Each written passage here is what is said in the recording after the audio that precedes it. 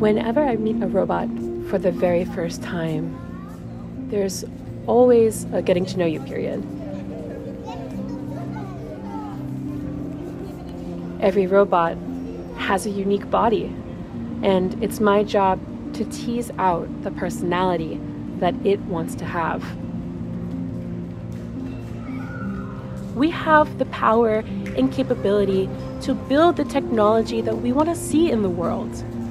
And for me, that's robots that are curious and kind and alive. One of the challenges of bringing this robot to life was squeezing in all the tech into this four inch shelf. I'm using advanced robotic simulation tools, depth cameras, and a lot of digital duct tape to properly misuse this machine to do things it was never designed to do.